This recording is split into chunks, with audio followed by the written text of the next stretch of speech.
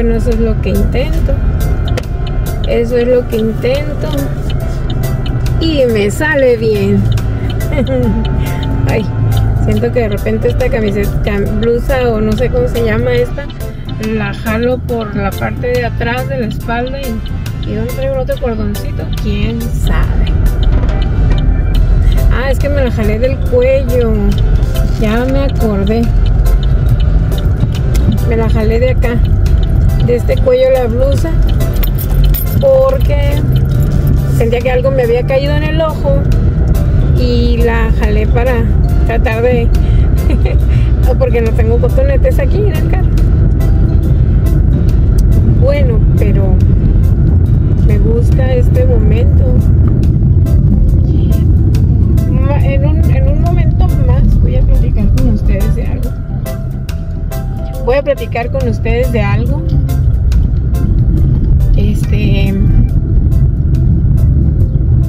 Algo que me sucedió hace unos días y. Y pues para mí pues es muy importante. Es muy importante y pues se lo voy a platicar a las personas que, que les tengo real cariño que es a ustedes real cariño. Ah, vengo llegando aquí pues al por el pan. Vengo por el pan. Salí por el pan. A ver. No es que están arreglando. Están arreglando esta, esta calle de aquí de atrás y está bien alto y bien feo. Bien feo está. Bueno voy a bajarme y en un en un ratito regreso con ustedes mm, ok antes de comenzar el video. Me disculpo por esto que ustedes ven aquí. Aquí.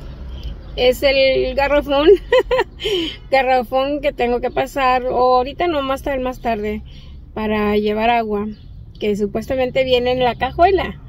Y es una unas herramientas de mi hijo que, que anda ocupando en donde anda trabajando y tuvo que bajar el respaldo del asiento para que eh, pueda caber la, herramienta porque este, es algo largo. Entonces, eh, por eso está el, el, el, asiento, el respaldo así hacia abajo y se ve la cajuela. Esa es la razón. Así que me disculpo por esa imagen no muy agradable. ok, nada más se los quería decir porque se ve mal eso, pero pues ni modo, ni modo, ni modo. Ok, entonces los invito a ver este video. Ok, vamos a hacernos más para atrás. ok, bueno, pues como tengo que esperar, tengo que esperar más o menos media hora más o menos media hora aquí por mi pan. Este, pues mientras voy a platicar. Mientras quiero platicarles algo, fíjense, pero ¿saben una cosa? Hace, en el video anterior, en el video anterior, eh, una persona, una, una mujercita me dijo, dice, no le des tanta vuelta al, al asunto, no le des tanta vuelta a lo mismo. Yo creo que yo repito muchas veces las cosas, ¿verdad? Y me dijo, porque se hace enfadoso. Y no quiero que se haga enfadoso. Mm, yo sé que nunca de los nunca voy... A ver, permítanme. Nunca de los nunca voy a poder complacer a, todas las personas o a cada persona que vea algo en mí. Porque yo soy como soy, yo soy así. y pues ahora sí que doy lo que puedo dar y de lo que tengo también, de ahí doy, de ahí doy, ¿verdad? Y pues miren, yo de sobra, las personas que las personas que me conocen en mi canal, las personas que han seguido este proceso mío de, tanto proceso como, como mi comienzo en, en, esta plataforma, saben lo que yo, ay, déjenme abrirle poquito porque tengo calor. Saben lo que yo he vivido, conocen, yo les platico casi todo de mí. Saben que paso por la situación, una situación de, de constante, pues, ¿cómo decir? tristeza, dolor o no sé cómo decirlo. Pero es es una es una constante de, de, que estoy viviendo recuerdos. Estoy viviendo recuerdos, recuerdos que me llegan todos los días, todos los días. Me llegan recuerdos de, de mi hijo, de mi hijo Brian. Y pues ya no lo digo mucho, ya no me meto tanto en esta plática y en este video, esta es la razón por la que estoy haciendo este video. Porque fíjense que, que hace como una semana, no mentira, el domingo va a ser una semana, el domingo va a ser una semana, que vine a ver no, no es cierto. Hace una semana, hoy, precisamente hoy jueves, porque hoy es jueves. No sé si hoy mismo o mañana les voy a estar subiendo este video, pero hoy jueves, hace ocho días que también traje a mi hijo de, de lo traje de mi casa, de su casa, de también de su casa. Lo traje para su departamento. Lo traje lo traje para porque él tiene su compromiso con la iglesia bendito sea mi Dios que mi hijo busca de Dios y este lo traje pues para que cumpliera con su compromiso en la iglesia cuando veníamos llegando a, a, su casa él vive en un departamento él renta un departamento este cuando veníamos yo yo he venido muchas veces con él yo muchas veces he venido a, dejarlo y pues obviamente me regreso por el mismo camino. Llego por el mismo camino y me regreso por el mismo camino también. Y este, fíjense que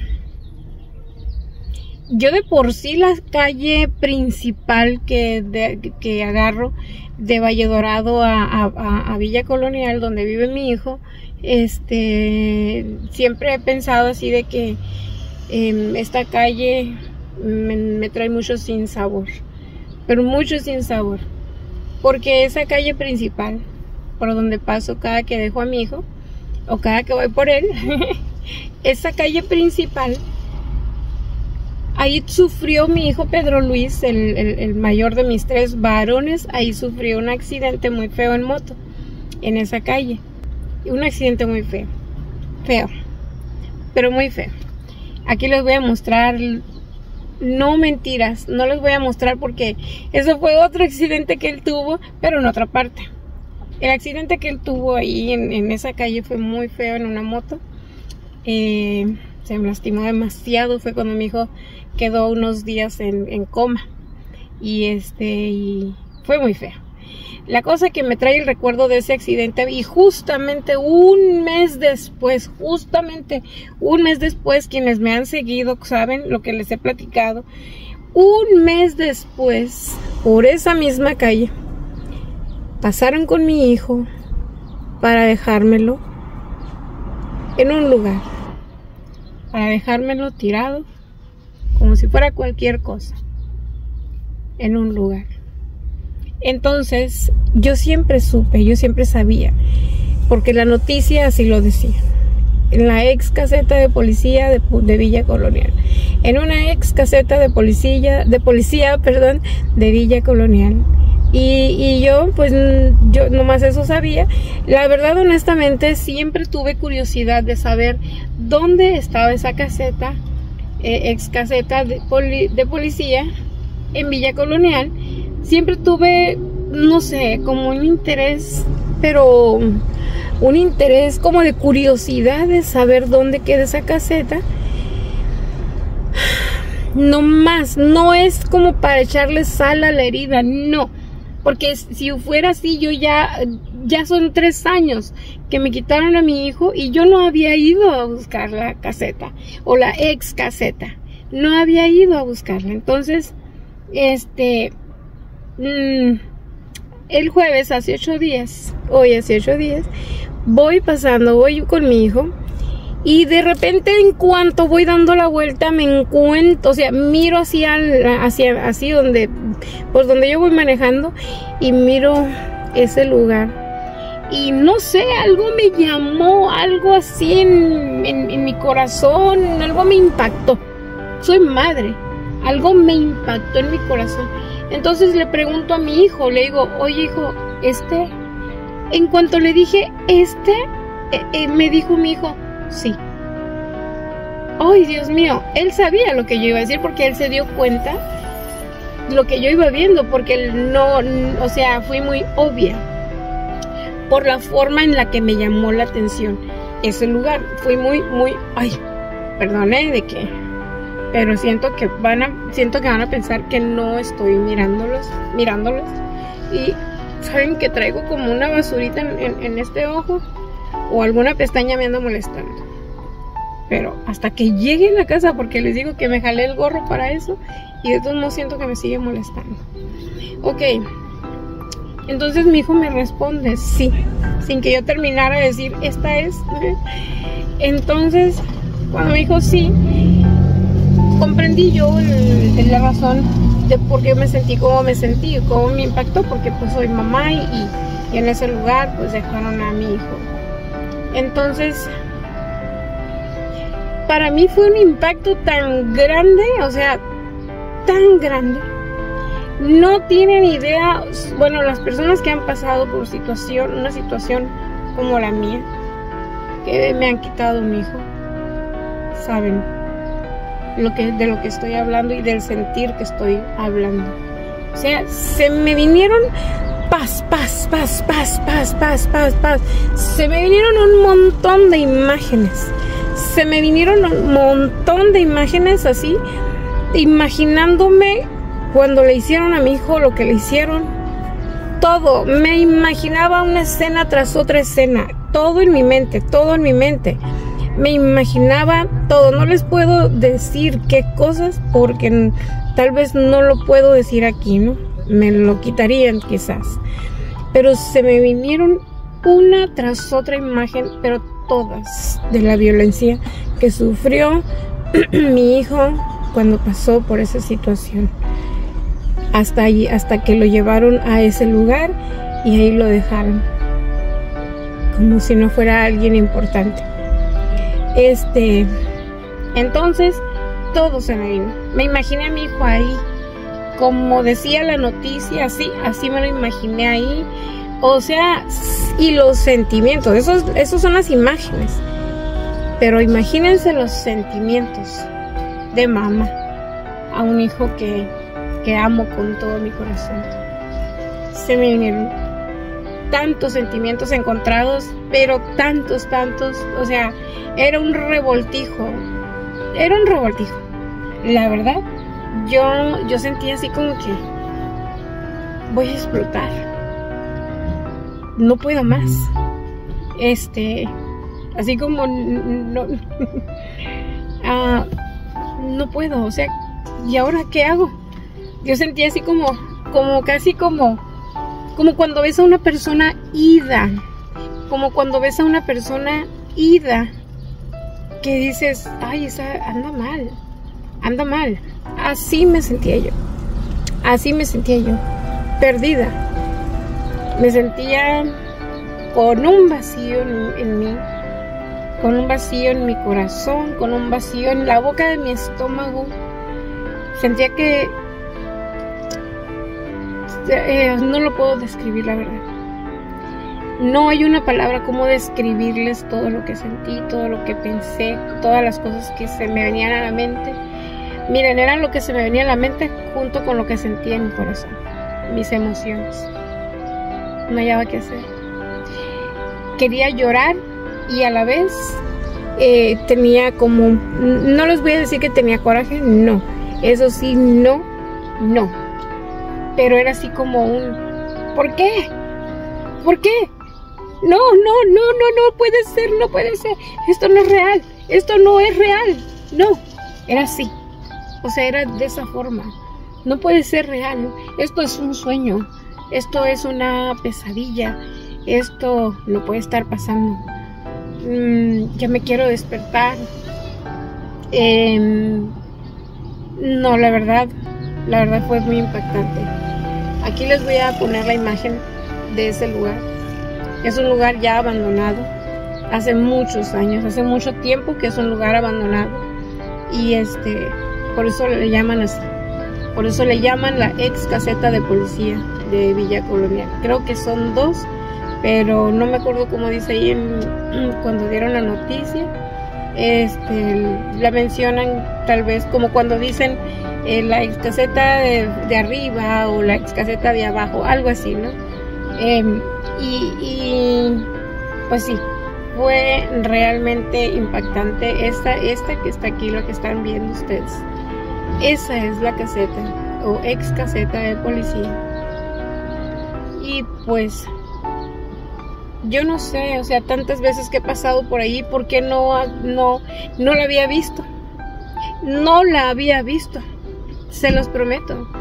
Paso de día o de noche cuando he tenido que llevar o recoger a mi hijo y no la había visto. Entonces, eh, yo no sé, ese, hace ocho días, así, o sea, yendo apenas dando la vuelta, allá se, apenas se alcanzaba a mirar, o sea, er, no era que, que, fuera bien visible, no, pero algo de ahí me llamó la atención. Algo de ahí me llamó la atención y, no sabía que era eso. Ay, Dios, perdón. Estoy hable y hable y yo no, me doy cuenta de cómo están mis greñas. Pero es que, ¿saben qué? Este día he ido, he andado del tingo al tango, pero mucho, pero mucho, mucho. Entonces, este, les estaba diciendo que, pues sí, ha sido una experiencia eh, triste para mí, o sea, mm, déjenme subirle porque esa música me, me, van a venir quitando, yo creo, como dicen, no, el video. Este ha sido una experiencia tremenda para mí no se me olvida. Hace rato fui, fui, fui porque traje a mi hijo, porque está pasando también él ahorita una situación emocional que no está muy, muy, muy bien, pero él está bien, él está bien, él está tranquilo. Así que, pues le digo, mi hijo, si puedes estar en la casa para que no te sientas solo ahorita, pues vete a la casa. Mi casa es tu casa y siempre lo va a ser. Así que sí, pues ayer se fue para allá, para la casa y pues lo traje ahora para que eh, se bañara, lo dejé en la iglesia, ahorita lo voy a recoger, ustedes miraron en el intro que lo dejé ahí, eh, bueno no lo miraron a él porque él no quiere salir en el video. Y, mm, entonces ahora sí que eh, como ahora no que pasé por ahí pues no puedo evitar voltear y ver y, este y recordar lo que me impactó la semana pasada lo difícil que fue eh, mirar el lugar donde pues donde me dejaron a mi hijo algo muy muy difícil. Es una situación o una circunstancia que no no se le desea a nadie. Y no me gusta mucho repetir esta frase porque está tan trillada pero estamos viviendo en tiempos tan complicados en que pasan, igual que siempre han pasado cosas, como siempre han sucedido cosas, pero ahora más fuertes. Ahora más fuertes, más libres, más a la luz del día.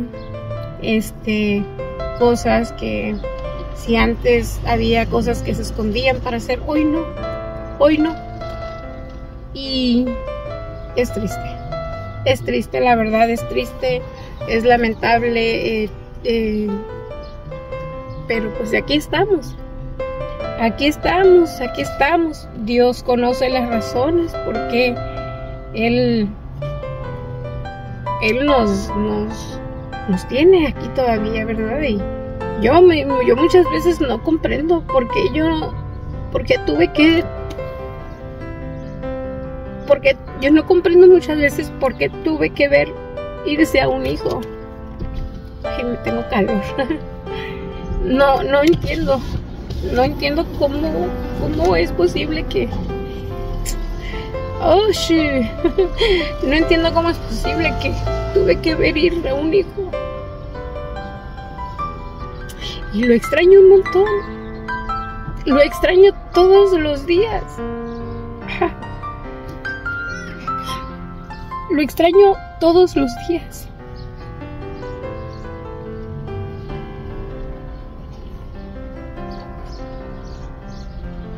Encontrarme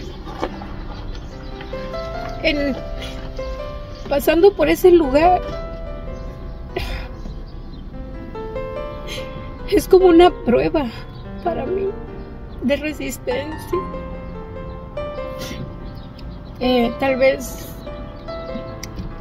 me dirían, si yo, me dirían tal vez, este, pues no pases por ahí, vete por otra calle, hay otras calles por donde puedes llegar ahí con tu hijo.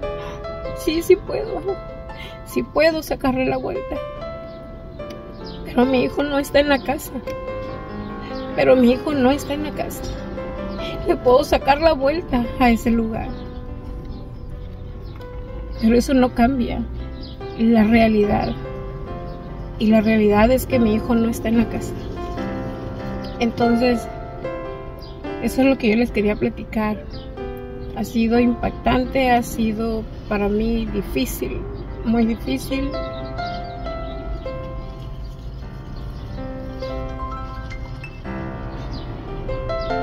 Se me hace bien difícil pensar que voy a... Yo lo dije antes, pero lo voy a volver a decir. Se me hace bien difícil pensar que si me queda un día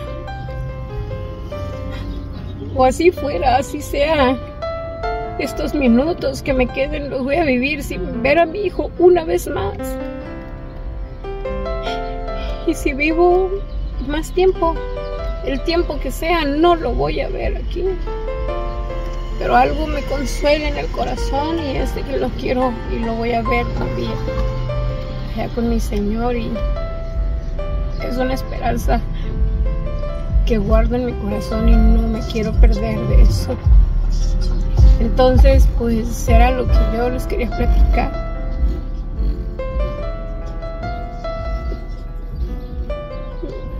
La verdad es que me he sentido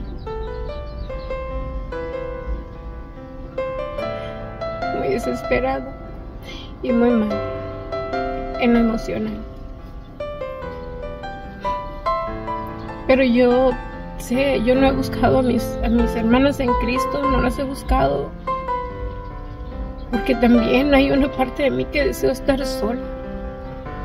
Y no me quiero deprimir, pero deseo estar sola. Siento así como que no tengo ningún deseo de, de, de, convivir de reír. Siento así como que no, siento como, no, no, no, no, no. No es que quiera saborear el dolor, porque el dolor no se saborea, no yo. Pero así es como cuando dice, déjenme en paz, déjenme en paz. Déjenme llorar o déjenme reír o déjenme dormir, déjenme vivir. No sé.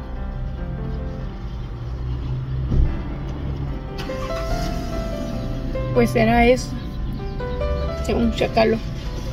Era eso lo que les quería platicar. Ay, esta basurita en el ojo. Este, y pues dice la palabra de Dios que tengo que cobrar, dice que cobremos ánimo, ¿no? Entonces sí. Em, ¿Saben cómo? Cuando pongo alabanzas, cuando pongo alabanzas. Estoy también en unas, en unas páginas en la plataforma de Facebook, estoy en unas páginas este, de, la Biblia y todo eso, de preguntas, respuestas y todo, y wow, o sea, eso me ha ayudado mucho a conocer eh, eh, cosas y versículos, palabra que, que, había escuchado pero que no había leído porque, porque pues es la verdad. Y, eso a mí me saca, y eso también pintar me saca, pero ¿qué creen? No he pintado ahorita, no he pintado en estos días porque, no he pintado porque, por lo mismo, porque siento, porque siento el ánimo muy decaído y, y aunque yo sé que la pintura a mí me, me ayuda mucho, me ayuda a distraerme, pero cada que me he sentado a, pintar, a querer pintar otra vez eh, los encargos que tengo, mm, empiezo a dormirme. Empiezo así a, a, cabecear, a cabecear, empiezo a cabecear, a cabecear, hasta que siento que me rinde totalmente el sueño y, nada más todo lo hago así a un lado, así para allá y, y pues me acuesto y me acosté y sí me quedo dormida.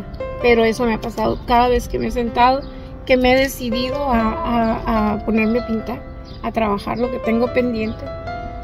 Y este, y sí, sí me he puesto a pensar y digo yo, híjole, a mí se me hace que estoy cayendo en una depresión. Y no quiero, no quiero caer en una depresión. Y, perdón, pongo alabanzas y me pongo a cantar. Y me pongo a cantar y empiezo a, yo le hablo a mi Señor, este, yo empiezo ahí en la casa, aunque parece que estoy sola, pero yo sé que no estoy sola.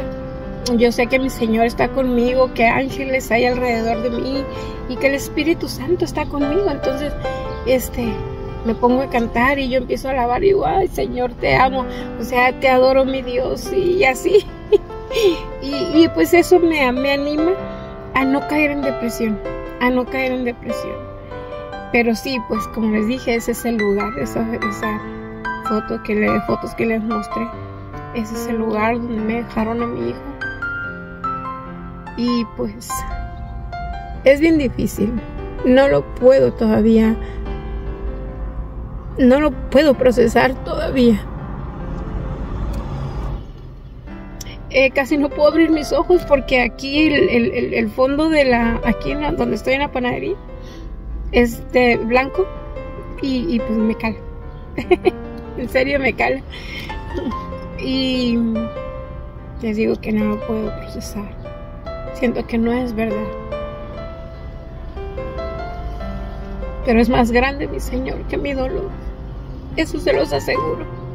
Y es más grande mi Señor que mi dolor. Es más grande que todo mi Señor y, de él me aferro, de, su mano me, me aferro para yo seguir el tiempo que él quiera que yo siga aquí. Así que, pues bueno, ay, me, está, me ha aguantado tanto porque no quiero llorar. Porque quiero llorar sola. Quiero llorar donde, donde nadie me juzgue. Donde no, no se vayan a reír de mi dolor. Por eso mejor hasta aquí les dejo este video. Para cobrar ánimo y seguir. Porque tengo que trabajar.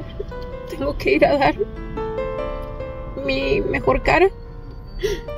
Porque nadie, nadie es responsable y nadie sabe.